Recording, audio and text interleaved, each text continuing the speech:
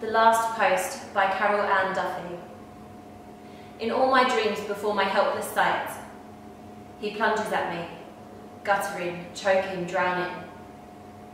If poetry could tell it backwards, true.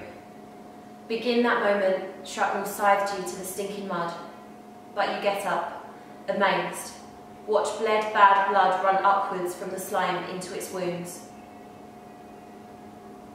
See lines and lines of British boys rewind back to their trenches, kiss the photographs from home. Mothers, sweethearts, sisters, younger brothers, not entering the story now to die and die and die. Dulce no decorum, no pro patria mori.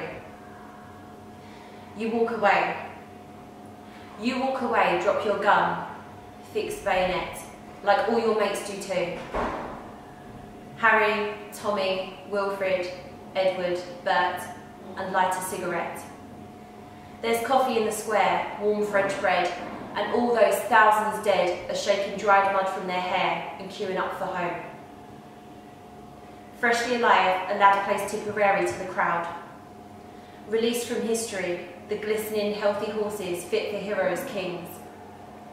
You lean against a wall, your several million lives still possible.